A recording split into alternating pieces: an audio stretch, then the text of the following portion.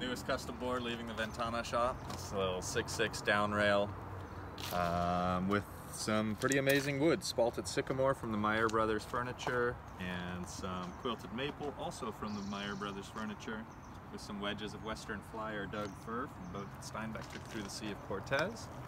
Also got some Doug fir in the tail block, Doug fir wedges in the fin between redwood and some mahogany there. And we've got leash and vent plug made of zebra wood that came from upcycled skate art with some nice abalone inlay along the tail block and a book match top deck. Another beauty, should surf really well.